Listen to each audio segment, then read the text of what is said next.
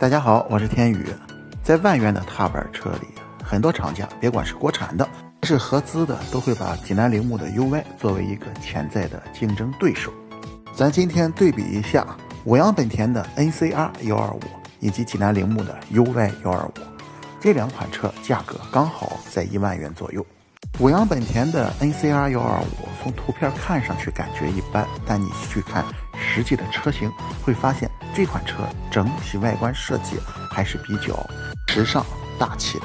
在发动机方面，五羊本田的小踏板两种发动机，一个是沙系列，一个是 ESP，而 NCR 幺二五显然应该属于沙系列的发动机，最大功率六点六千瓦，相应的马力九匹。如果用它和济南铃木的 UY 相对比的话，略逊一筹。但是大家伙骑幺二五的踏板车本身动力都很一般，所以也没有必要过分的去纠结于这点动力的差别了。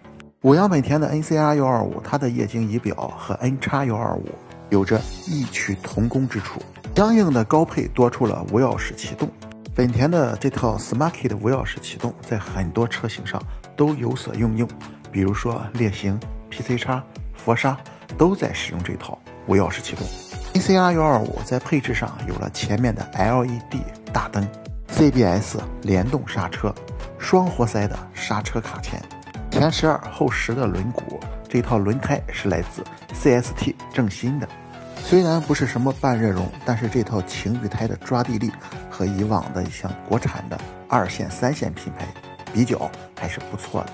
这款车实际驾驭起来，感觉车把轻松灵活，脚踏空间比过去的 N 叉相比较明显大了不少。本田第五代的 PGM-FI 的电喷系统也应用在这款车上。要非说独立标或者联合标，那我只能说五羊本田这四个字打在车把上了。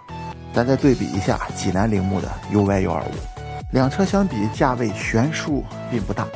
但是铃木的 UY 幺二五，即使是二零二二款，依然配着卤素大灯。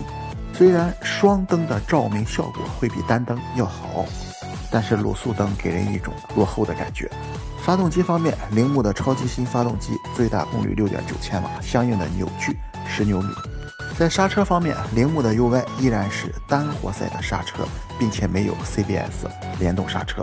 但铃木 UY 也有一个好处，那就是在于它腾森的半热熔轮胎，这款轮胎在抓地力方面会更胜一筹。两个车的油耗相差并不大，对于大部分的幺二五级别的车型，百公里油耗都在二点三升左右。铃木的 UY 原厂会配备一个尾箱，五羊本田的 NCR 幺二五最近是搞活动的，原厂会赠送一个夏德三三的尾箱。这两个比的话，那明显是五羊本田的夏德三三更适合一些。两个车如果比做工的话，个人感觉本田的 NCR 幺二五要略胜一筹。比配置，比如 CBS 双活塞的刹车，似乎五羊本田的 NCR 幺二五也能略胜一筹。但是五羊本田在我们北方地区销量上是明显不如铃木 UY 的。你比如说 UY 上这个双启动，五羊本田从来都没有。比如半热熔的轮胎，五羊本田也没有。总之吧，两个车各有利弊，大家伙选择起来就看你更关注哪一块了。Nice。